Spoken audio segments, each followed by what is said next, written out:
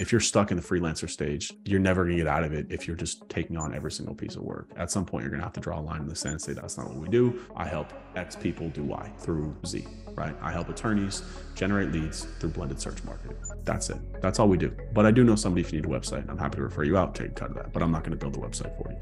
Just way too much time and energy. Every single time we take on a website, I end up doing the QA and uh, it makes me want to quit this business.